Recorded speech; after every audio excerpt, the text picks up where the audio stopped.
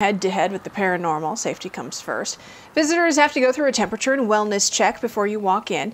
Face masks are required. If you don't have one, the museum will give you one. Tours are also limited to half capacity to allow for more social distancing. Visitors should be in for quite the spooky time.